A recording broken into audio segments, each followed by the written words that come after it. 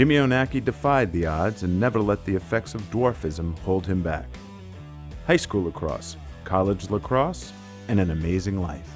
Jimmy Onaki refused to let his handicap in any way stop him from doing what the rest of the team was doing. Over a 40 plus year run with homegrown Hall of Fame coach Mike Messere leading the team, West Genesee High School in Camillus, New York became one of the most storied programs in the sport's history. 846 victories, a national record of 91 straight wins, 15 state championships, six National Lacrosse Hall of Famers, and an inspirational story for the ages.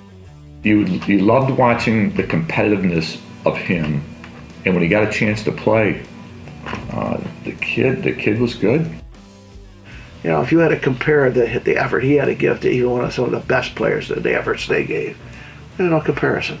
So if you go by effort, which is part of what you choose kids on, and when you're making a team, you got to have, you know, it's not always just the superstars that count. It's those kids that, that got to have kids that can can be part of the team and not always be the star out there. All things being the same, if Jimmy couldn't play at all, I think Mr. Messere would have cut him.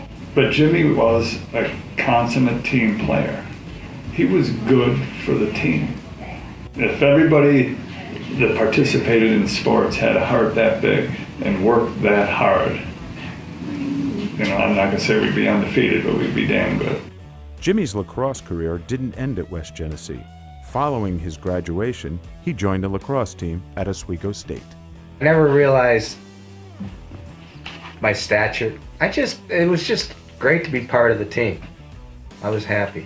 They think, you know, how could you have gone out there and played against people that are twice your size and it's just another person, you know? And they got to play against me. In 2019, James H. Onaki will be inducted into the Camillus West Genesee Sports Hall of Fame, joining some of the biggest names in the history of the sport.